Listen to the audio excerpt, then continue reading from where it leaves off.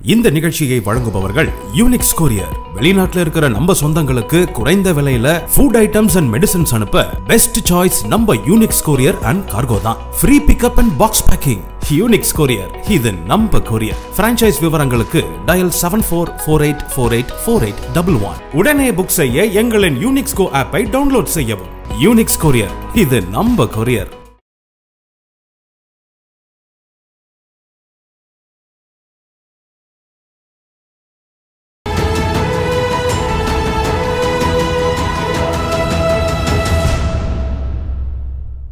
தமிழ் நிறம் நேயர்களுக்கு அன்பு வணக்கம். இன்றைக்கு திமுகவிலிருந்து முன்னாள் சட்டமன்ற உறுப்பினர் இள புகழேந்தி அவர்கள் இன்றைக்கு நம்மோடு இணைந்திருக்கிறார். பாருங்கள் நேயர்களை அவரிடம் பேசலாம். ஐயா வணக்கம் ஐயா. வணக்கம். சொல்லுங்க. எப்படி எப்படி இருக்கீங்க ஐயா? நலமா இருக்கேன். ஐயா காங்கிரசினுடைய முன்னாள் தலைவர் ராகுல் காந்தி இன்னைக்கு வந்து ஒரு அமைதி யாத்திரை தொடங்க இருக்கிறார். அதை பத்தின உங்களுடைய முதல் கட்ட பார்வையை சொல்லுங்க ஐயா. இந்த நிகழ்வில் தயவு செய்து இனிமேல் யாத்திரை என்று பயன்படுத்தாதீர்கள். யாத்திரை என்பது நம்ம ஏமாத்துற கூட்டம். பாசிச பாஜக நைன்டீன் நைன்டி எல்லாம் இந்த பாபர் மசூதிக்கு போறோம் அதை உடிக்க உடைக்க போறோம் இடிக்க போறோம்னு அத்வானி தலைமையில இன்றைக்கு இருக்கிற இந்த அமித்ஷா அண்ட் மோடி இவங்கெல்லாம் கூட ஆயுதங்களை எடுத்துக்கொண்டு ஓடிய கூட்டத்துல இருவர்களும் இருப்பதாக சொல்லுவாங்க. அப்படிப்பட்ட பெயர்கள் கொண்ட யாத்திரை அல்ல அது வேற. இப்பொழுது போவது மக்கள் ஒற்றுமை பயணம். ஒற்றுமைப்படுத்துவதற்காக அவர்களை நேரடியாக கண்டு செல்வதற்கு ராகுல் அவர்கள் காங்கிரஸ் கட்சியினுடைய மிகப்பெரிய ஒரு நட்சத்திரமாக இன்றைக்கு விளங்குகிற ராகுல் புறப்படுறார். அப்படி புறப்படுகின்ற அந்த நடைப்பயணத்தை அந்த வழிப்பயணத்தை எங்களுடைய தலைவர் அண்ணன் தளபதி அவர்கள் தமிழக முதலமைச்சர் தொடங்கி வைக்கிறார். அதுல கூட பாருங்க நான் ரொம்ப பெருமையோடு சொல்கிறேன் எங்கள் தலைவரை பற்றி. திராவிட மாடல் அங்க நிக்குது. எப்படி தெரியுங்களா? புரிஞ்சவங்களுக்கு புரியும். இனிமே புரிய வைக்கணும். தென்னகத்தில் இருந்து வடக்கை பாருங்கள். தெற்கில் இருந்து வடக்கை பாருங்கள். வடக்கில் இருந்து தெற்கை பார்த்தது போதும். தென்னகத்தில் இருந்து வடக்கை பாருங்கள். இது திராவிடத்தில் இருந்து பாருங்கள் என்கின்ற அந்த நீண்ட நெடிய கால அந்த க கருத்தை இன்றைக்கு நம்முடைய ராகுலை வைத்து ராகுல் தென்னகத்திலே நம்முடைய குமரியில் இருந்து காஷ்மீர் போகிறார். இதுவே நமக்கு ஒரு பெரிய மகிழ்ச்சியாக இருக்கிறது. குமரியிலிருந்து காஷ்மீருக்கு போகிற அவரை இன்னொன்னு எங்க தலைவர் சிறப்பா செஞ்சிருக்காருங்க இதுல. இதெல்லாம் வந்து அவனுங்களுக்கு புரியாது.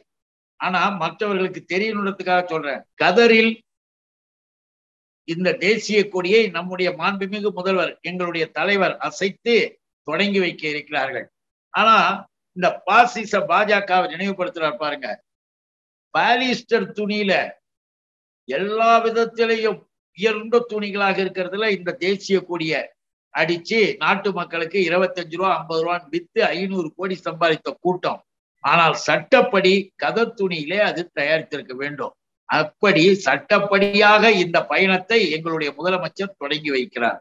இதிலேயே அவர்களுடைய நிலைப்பாட்டை நாட்டு மக்களுக்கு தெளிவாக எடுத்து சொல்வதற்கு ஒரு வாய்ப்பு நிலையம். ஐயா இப்ப பாஜக தலைவர் அண்ணாமலை என்ன சொல்றாரு அப்படின்னா இது வந்து ஒரு கபட நாடகம். ராகுலுடைய இந்த பயணம் வந்து ஒரு கபட நாடகம்னு சொல்றாரு. அதாவது அண்ணாமலைக்கு எதெல்லாம் சரியல்ல என்று தெரிகிறதோ அதுவெல்லாம் நாட்டுக்கு நல்லதுன்னு அர்த்தம். அண்ணாமலையினுடைய பார்வையில தீமை என்றால் அது மக்களுக்கும் சமூகத்திற்கும் நன்மை என்று அர்த்தம். எதை வைத்துக்கொண்டு அண்ணாமலை சொல்றார்? அவருக்கு என்ன தெரியும்? அவர் முழுக்க முழுக்க ஆர் எஸ் எஸ் வந்த ஒரு ஆளு. அந்த நபரு இந்த கொடியை பற்றியோ அல்லது இந்த கூட்டத்தினுடைய நடவடிக்கைகளை பற்றியோ எதையும் தெரிந்து கொள்ளாத அண்ணாமலைக்கு நான் சொல்றேன். அண்ணாமலை உனக்கு இடிக்கிற மாதிரி ஒண்ணு பார். உன் கட்சி தான் செய்து உன் அமித்ஷா தான். உன் நட்டா தான். என்ன தெரியுங்களே? ராகுல் இங்கே தொடங்குகிறார். தொடங்கி வைப்பது திராவிட முன்னேற்ற கழகத்தின் திராவிட இயக்க மூத்த தலைவராக இருக்கிற எங்களுடைய தலைவர் அண்ணன் தளபதி. அங்கே பீகார் இன்னும் தொடர்ந்து கேரளா இன்னும் பல்வேறு மாநிலங்கள் எல்லா எதிர்கட்சி தலைவர்களும் ஒன்றுபடுத்துகிறார்கள். வெஸ்ட் பெங்கால் எல்லாம் சேர்ந்து எல்லா தலைவர்களும் இன்னைக்கு அந்த பயணத்தை வரவேற்கிறார்கள். மக்கள் அதிலே திரளாக கலந்து கொள்வதற்கு வாய்ப்பு நிலைகள் இருக்கின்றன. இந்த நிலையில உங்க நட்டாவும் உங்க அமித்ஷாவும் என்ன பண்ணாங்க தெரியுமா? இந்தியாவில் நூத்தி நாற்பத்தி நாலு நாடாளுமன்ற தொகுதிகளில் இந்த பாசிச பாஜக பலவீனமாக இருப்பதாக அவர்களுடைய கூட்டம் ஆய்வு செய்திருக்கு. அதனால நூத்தி நாற்பத்தி நாலு அந்த பார்லிமெண்ட் தொகுதியிலையும் இவர்கள் ஒரு தொகுதிக்கு இல்ல நாலு தொகுதிக்கு ஒரு மத்திய மந்திய மந்தி மீன்ஸ் மந்திரி தாவி தாவி குதிக்குதுங்கல்ல? அந்த மத்திய மந்திகளை நாலு நாடாளுமன்ற தொகுதிக்கு ஒரு ஆளை போட போறாங்களாம் நட்டாவும் அமித்ஷாவும் இப்ப ஆலோசனை கூட்டம் போட்டிருக்காங்க. ராகுல் இங்க தொடங்குறாரு. மா இந்திய துணைக்கண்டம் முழுவதும் எல்லா தலை முற்போக்கு தலைவர்கள் புதுவுடைமைவாதிகள் திராவிட இயக்க தலைவர்கள் இன்னும் பல்வேறு மாநில கட்சிகளினுடைய தலைவர்கள் எல்லாம் இணைந்ததற்கு பிறகு பயம் வந்து போச்சு. இவர் புறப்படும் போதே நூத்தி நாற்பத்தி நாலு தொகுதி என்னாச்சே தெரியலன்னு நடுங்கி போய் கூட்டம் போட்டுக்கிட்டு இருக்க. இன்னும் சொல்றேன் இந்த பயணம் வெற்றிகரமாக முடிகின்ற பொழுது பிஜேபி அவுட் ஒன்னுத்துக்கும் வேலை கிடையாது என்கின்ற அளவில் வரப்போது அப்ப தெரியும் இந்த அண்ணாமலைக்கெல்லாம் ஆடு ஓட்டிக்கிட்டு போலாம் அப்ப. ராகுல் வந்து தலைவர் ஆனார் அப்படின்னா எங்களுக்கு அது ரொம்ப ஈஸியான வேலையாச்சு. ரெண்டாயிரத்தி இருபத்தி நாலில் நாங்க ஈஸியா ஜெயிச்சிருவோங்கிறாரு. அப்ப ராகுல் தலைவரானா ஈஸியா ஜெயிப்பாங்க அப்படின்னா இப்ப என்னத்துக்கு ராகுல் புறப்பட்ட உடனே ஓடி போய் நூத்தி நாற்பத்தி நாலு தொகுதியில எதுக்கு ஆள் போட்டுக்கிட்டு பயந்துக்கிட்டு கிடக்குற? அதுக்கு பதில் சொல்ல. உண்மை என்பது வேறு அண்ணாமலை சொல்வது என்பது வேறு. ஒண்ணு நல்லா தெரிஞ்சுக்கங்க. இன்றைக்கு இந்திய துணைக்கண்டம் முழுவதும் இந்த காவிகளின் பஜனை பாடலை ஏற்றுக்கொள்ள தயாராக இல்லை. கிட்டத்தட்ட இந்த பாசிச பாஜகவில் கோடீஸ்வரர்களுக்கு ஆட்சி நடத்துவதாக மக்கள் அனைவருக்கும் தெரிகின்ற சூழ்நிலை வந்துடுச்சு. கிட்டத்தட்ட வந்துச்சுன்னா இப்ப எல்லாமே வந்துகிட்டு இருக்கு. நல்லா யோசிச்சு பாருங்க. பாஜக ஆட்சிக்கு வர்றதுக்கு முந்தி இந்த அமித்ஷா எங்க இருந்தாப்புல? இன்னைக்கு அமித்ஷா எங்க இருக்காரு? உலக பணக்காரனா உலக பணக்காரன் அமித்ஷாவுக்கு எழுபத்தி ரெண்டாயிரம் கோடி தள்ளுபடியே நீ இப்ப பண்ற. ஏன்? எழுபத்தி ரெண்டாயிரம் கோடி பேங்க்ல அவர் கட்ட முடியாதா? உலகத்தின் நான்காவது பணக்காரனாக அமித்ஷா சேர்ந்து அமித்ஷாவும் மோடியும் சேர்ந்து அந்த நபரை உயர்த்தி விட்டுருக்கீங்களே? ஏன் அவர்கிட்ட வாங்குறது? ஆனா தள்ளுபடி பண்ணுது இந்த அரசாங்கம். இப்படி ஒரு கோடீஸ்வர குபேரர்களுக்கு எடுபடியாக இருக்கிற இந்த அரசாங்கம் தொடர்ந்து இந்தியாவில் இருக்க வாய்ப்பில்லை. இன்னும் கூட சொல்லணும்னா இப்ப பாருங்க விவசாயிகள் போராட்டம் மறுபடியும் கிளம்புது. அண்ணாமலை அங்க போயேன். நீ என்ன இங்க உட்காந்துருக்கிய அங்க போய் பாரு என்ன நடக்குதுன்னு. சாலைகளிலேயே உன் ஆளுங்க போக முடியல.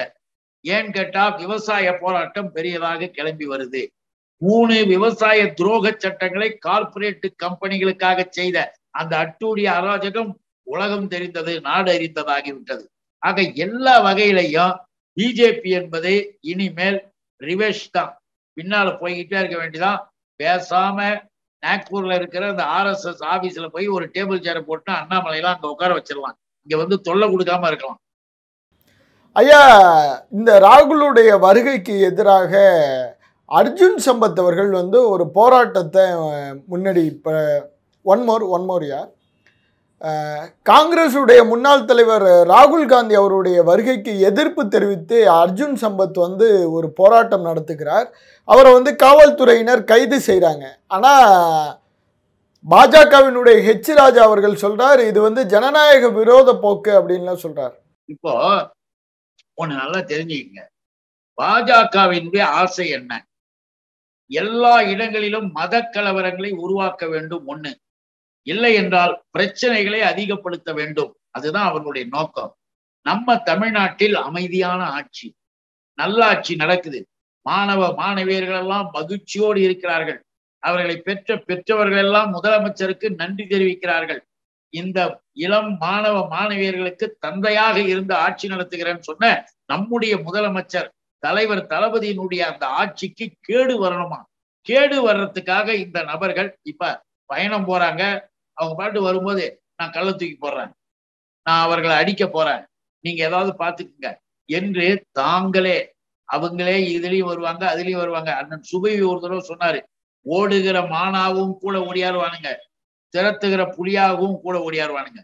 இந்த நபர்கள் எல்லா வேஷமும் போடுவார்கள். ஆகவே காவல்துறை எடுத்த நடவடிக்கை சட்டம் ஒழுங்கை பாதுகாக்க அங்கே அமைதியை மீண்டும் நிலைநிறுத்த இந்த நடவடிக்கை எடுத்தது சரி. இல்லை என்றால் இவர்கள் எதை வேண்டுமென்றாலும் செய்வார்கள்.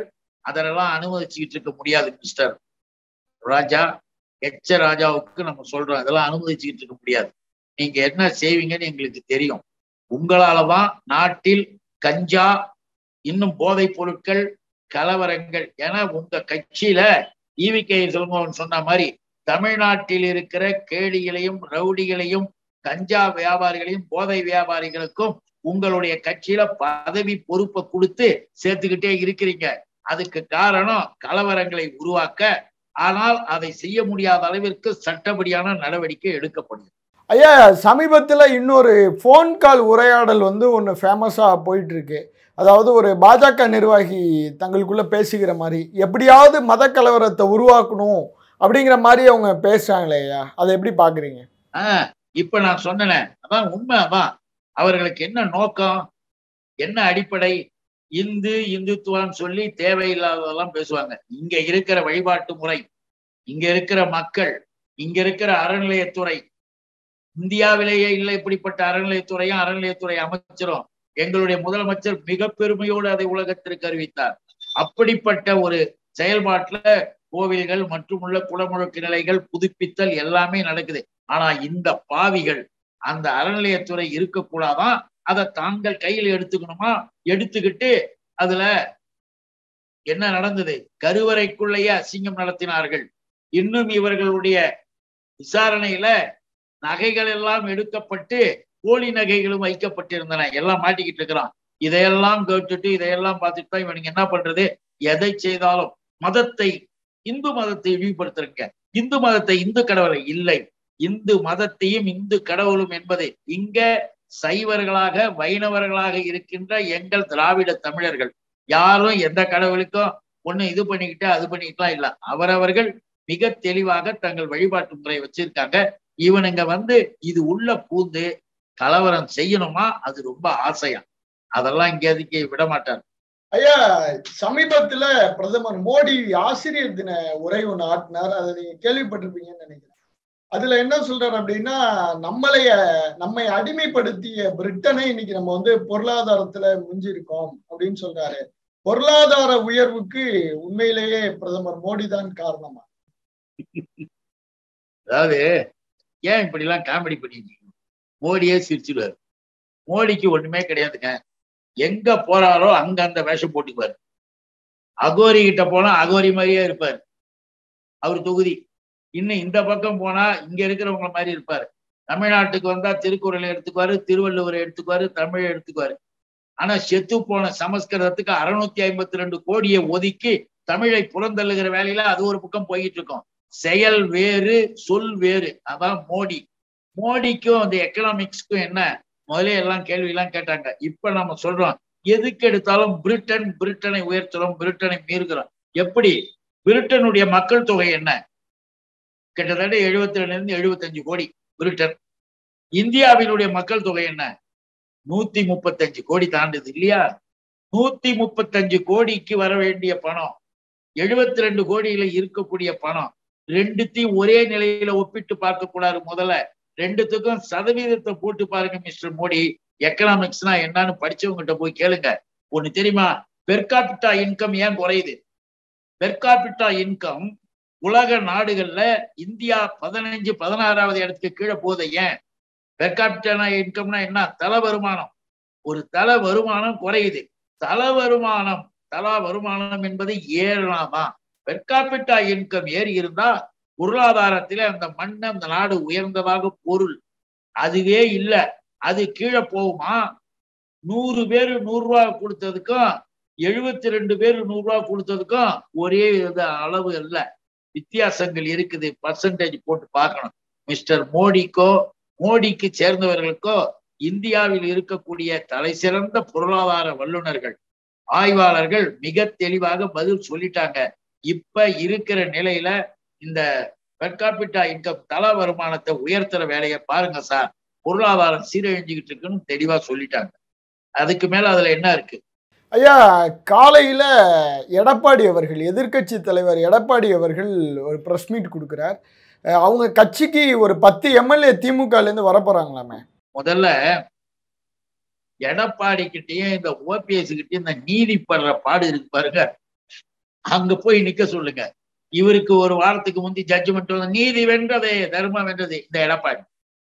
அதுக்கப்புறம் ஓபிஎஸ்க்கு வந்தோடனே நீதி வென்றது தர்மம் வென்றது ஓபிஎஸ் அதுக்கப்புறம் மீண்டும் எடப்பாடி நீதி வென்றது. இந்த நீதியையும் தர்மத்தையும் இவனுங்க போட்டு அலசுற மாதிரி உலகத்துல யாருமே அலைஞ்சிருக்க மாட்டானுங்க. பாவம் அதை விட்டுடுங்களா இன்னொன்னு உனக்கு என்ன இருக்கு? நீ என்ன ஒரு தலைவன்? உன் மேல என்னென்ன வழக்கு இருக்கு? இது எவன் சொல்லி கொடுத்தான்? பாஜகவுல இருந்து யாராவது உனக்கு டியூட் பண்ணி கொடுக்குறாங்களா? பார் திராவிட முன்னேற்ற கழகத்தின் ஒரு அடிப்படை தொண்டனுக்கு இருக்கின்ற அரசியல் அறிவும் சுயமரியாதை இயக்க உணர்வும் ஒரு அணு அளவு கூட உனக்கெல்லாம் கிடையாது. உன்னையெல்லாம் ஒருத்தன் ஏத்துக்கிட்டு வருவதாக நீயா கற்பனை பண்ணி பேசிக்கிட்டு நீயா கை தட்டி மகிழ்ச்சிக்க. இது எப்படி தெரியுங்களா? தானே மேல போட்டு தானே கை தட்டிக்கிற கதை. இதெல்லாம் வந்து ஒரு முக்கியத்துவமே கொடுக்க வேண்டிய அவசியம் கிடையாது. இல்ல அவரு பத்து பேருன்னு சொல்றாரு ஐயா. அவங்க இப்ப செய்தியாளர் கேக்குறாரு உங்க கட்சியில இருந்து மூணு பேர் வருவாங்களே அப்படின்னு கேக்குறப்ப அவர் சொல்றாரு நான் பத்து பேரை சொல்றாரு. நம்பரோட சொல்றாரு. இப்ப பத்து பேரு அப்படின்னு சொல்றாரு. இருபது பேரும் சொல்லட்டும் பாஞ்சு பேரும் சொல்லட்டும் இல்ல ஆறு பேர் ஏழு பேர் எதை வேணாலும் சொல்லட்டும். நான் என்ன சொல்ல வரேன்னா இப்ப அது தப்பு பொய் இந்த மாதிரிலாம் கிடையாதியா. அப்படின்னு நிரூபிக்கப்படுகிறது. இப்ப ஒரு வாரத்துல தெரியுதுன்னு வச்சுங்க. இதெல்லாம் என்ன இருந்தாலும் எப்ப பார்த்தாலும் சொல்லிக்கிட்டே இருக்கான்னு கேட்கும்போது நாம என்ன தண்டனையா கொடுத்துட போறோம்? அந்த கொழுப்பு அந்த திமிரு. என்ன கைது பண்ணி உள்ளியா போட்டு போறாங்க? ஒண்ணும் கிடையாது. இன்னைக்கு நான் சொன்னேன் சார். நான் நாளைக்கு வேற சொல்லுவேன் சார் இப்படி நாலொரு மேனி ஒரு வண்ணம் என்று நடிக்கக்கூடிய இந்த நபர்களுக்கு பயமும் கிடையாது ஒண்ணும் கிடையாதுங்க. இவெல்லாம் கொடநாடு கொலை கேஸ்ல விசாரணை கைதியா இருக்கிறவன். அதனால ஏதோ ஒண்ணு தான் பேரு தினசரி பேப்பர்ல வரணும் எங்கேயாவது விளம்பரம் கிடைக்கணும் இந்த ஆளை பத்தி ஓபிஎஸ் கூட இருக்கவனுக்கு சொல்லுவானுங்க அதை கேட்டு ரொம்ப நன்றி ஐயா வணக்கம் நன்றி Are you a graduate? Can't find a job after completing a degree? You've come to the right place. If you are interested in data science, business analytics, and web development, we will make your dreams come true. The RISE Institute of Digital Sciences offers you 6 months online course with 100% employment guidance. Data science with IBAC certification tutored by quality professors. Easy EMI option available. For more details, visit www.trids.in or call us at 91500 60033 89398 55001.